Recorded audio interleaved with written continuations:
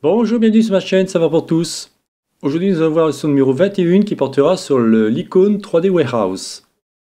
Donc le but de cette vidéo va être d'expliquer l'icône 3D Warehouse. Donc je vous montre ici, euh, je l'entoure euh, afin que vous puissiez voir de quoi je parle, afin de pouvoir récupérer, partager ou voir ces modèles ainsi que ceux de la communauté SketchUp. Depuis la vidéo 9, création de l'appartement, je m'amuse souvent avec cet appartement dont tout doucement je remplis les pièces garage, salon, cuisine, salle de bain, la chambre à coucher, et ainsi de suite. Donc la bonne nouvelle, c'est que je vais vous fournir le modèle de l'appartement, afin que vous puissiez avoir le gabarit, comme celui que j'utilise dans mes vidéos. Mais aussi, nous allons ensemble ajouter un autre élément, comme par exemple l'oreiller, où l'on s'était amusé à dessiner celui-ci lors de la vidéo numéro 16 portant sur le bac à sable. Ensuite, de temps en temps, je mettrai des éléments sur 3D Warehouse, afin que tout le monde puisse profiter de quelques modèles qui apparaissent dans l'appartement. Mais sans plus attendre, allons voir SketchUp afin de créer son compte et partager vos super modèles pour la communauté. Donc nous voici en SketchUp où on peut voir l'appartement comme je vous disais, hein. donc je l'ai complètement bien évidemment épuré, j'ai laissé un petit cadre, bon au cas où si vous voulez vous amuser, la porte aussi euh, qui rentre dans le mur, bon là aussi. Donc ce qui va vous intéresser Mature, bien sûr, pardon, c'est 3D Warehouse. Donc je clique dessus et là, automatiquement, donc je vais me déconnecter parce que pour que vous puissiez bien comprendre comment ça fonctionne. Donc je suis déconnecté et vous allez arriver sur cette fenêtre-là parce qu'évidemment, vous n'avez pas créé, vous n'avez pas de compte pour l'instant. Donc on va cliquer sur connexion. Ensuite, ici, vous devez remplir euh, bah, rien pour l'instant parce que vous n'avez pas de compte. Donc on va faire créer un nouvel identifiant Trimble. Ou alors, vous pouvez passer par, euh, vous savez, Google, euh, comme d'habitude. Comme ça se fait très souvent, soit Google, Facebook, mais là dans ce cas-là, c'est Google. Moi, je vais créer un nouvel identifiant Trimble. Ici, vous rentrez votre nom, votre, prénom, pardon, votre nom, votre courrier, le mot de passe. Vous cliquez, euh, enfin vous saisissez, pardon, euh, bah, Y325D euh, afin qu'on puisse voir que vous n'êtes pas un, robot, et vous créez votre compte. Voilà, tout simplement, je ne vais pas aller plus loin à ce niveau-là, c'est très simple. Si je ne me trompe pas, vous devez recevoir un email qui dit euh, confirmer euh, afin de, pouvoir accéder à votre compte. Une fois que ceci est fait, bah, vous allez rentrer vos informations. Donc je rentre mon email, sitegmr.gmail.com et mon mot de passe. Je me connecte. Donc nous voici dans 3D Warehouse. Comme vous pouvez voir ici, on accède à mon petit login. Donc en fin de compte, c'est un petit euh, mignon représenté que j'ai fait ça sur Blender. Voilà, donc ça c'est pour une petite parenthèse. Ici, vous pouvez cliquer par exemple, vous cherchez, imaginons une chaise, vous tapez chaise, et vous allez retrouver automatiquement les chaises qui vous intéressent. Vous pouvez voir différents modèles, bien évidemment. Dans notre cas, ce qui va vous intéresser, c'est euh, le plan de l'appartement. Vous tapez plan, appartement, on le sélectionne, et vous aurez 80 résultats. Donc on va vite le retrouver. Il est ici, vous voyez? Si je clique ici, on accède directement aux informations. Alors ce qui est intéressant, ce que vous pouvez voir, c'est qu'on a donc un... On a la vignette, on va dire, ce qu'on appelle la modèle 3D, mais quand vous cliquez sur cette icône, vous accédez en fin de compte à la visualisation de votre modèle en 3D. Vous pourrez zoomer, vous pourrez euh, faire une rotation autour, vous pourrez euh, regarder, enfin vous allez voir, c'est très bien fait. C'est très bien fait. Donc il suffira de cliquer sur la petite flèche que vous voyez ici, ça vous montre un peu ce que vous pouvez faire. Donc vous pouvez zoomer, comme je vous disais, vous pouvez faire un, donc, euh, un zoom euh, extend, si vous voulez, c'est comme Shift Z afin d'avoir euh, le zoom sur toute la globalité et qu'on voit bien ce qui se passe. Ça, ça va permettre tout simplement de zoomer, vous voyez, on fait comme ça. Vous pouvez le faire aussi avec la molette de votre souris. Hein. Ça, c'est le déplacement de votre, objet. Ici, on aura d'autres la rotation. Et le dernier icône, en fin de compte, il sert si vous aviez des scènes, ce qui n'est pas le cas. Vous avez donc au début, vous voyez, marqué il n'y a pas de scène, mais par contre vous pouvez effectivement mettre différentes vues. Donc euh, voilà, bon bah ça je vous laisserai regarder, hein, il n'y a rien d'extraordinaire.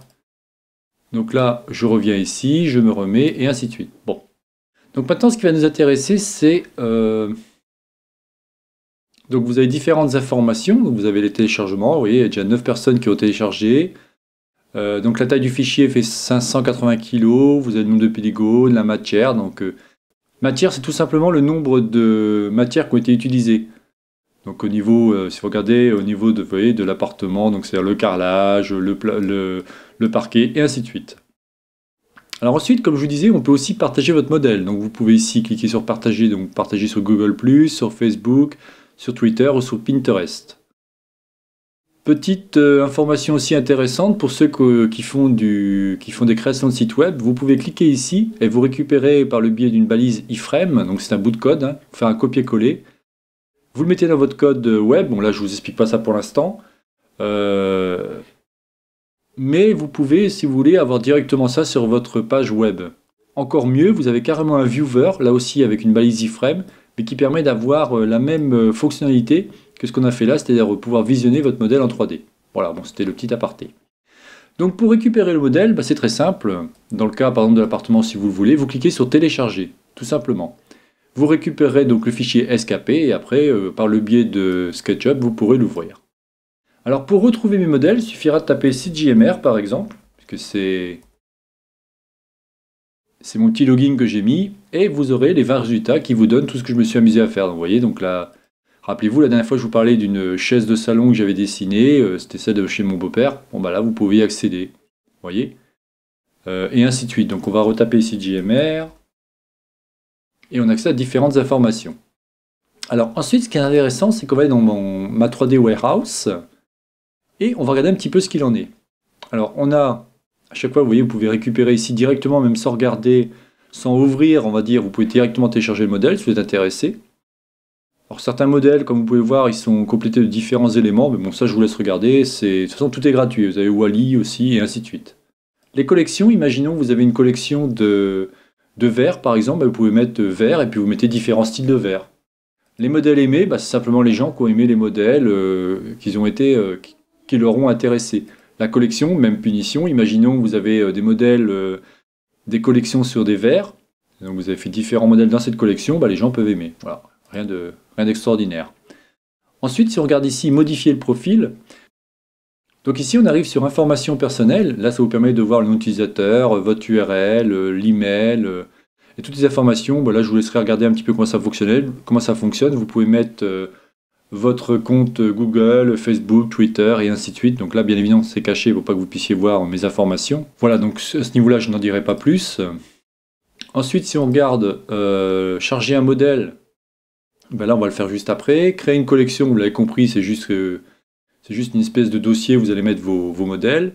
Modifier le profil, on vient de faire. Et déconnexion, ben, vous vous déconnectez et vous n'êtes plus connecté, en l'occurrence CGMR. Donc vous retombez dans un mode euh, standard mais par contre, vous ne pouvez pas euh, télécharger le modèle tant que vous n'êtes pas connecté. C'est tout à fait normal. C'est pour ça qu'au tout début, j'ai fait en sorte de vous connecter. Alors ce qu'on va faire maintenant, c'est télécharger un modèle. Donc vous cliquez ici, vous mettez charger un modèle. Ici, bah, comme vous pouvez voir, en fin de compte, j'ai déjà noté les informations. C'est un oreiller bleu, c'est un oreiller de la chambre, euh, on va mettre à coucher. On va rajouter une petite information. Euh, ici, on met en public. Alors, vous pouvez faire euh, des modèles soit privés, soit publics. C'est-à-dire que si vous cliquez sur public, bah, toute la communauté SketchUp permettra de voir votre modèle privé. Seul vous ou quelques personnes, alors là, privé, non, je pense que c'est que vous. Voilà. L'URL, si vous avez une URL, admettons, je vous disais tout à l'heure une page web où vous avez des informations propres à ça. Et ici, ce sont des mots-clés, donc oreiller, coussin. voilà, là, je ne mets pas autre chose. Ici, euh, je veux que ceci soit imprimable en 3D. pardon. Euh, celui-ci va générer en fait compte un fichier STL qui vous permettra euh, par exemple d'aller sur Sculpteo, je vous mettrai le petit lien.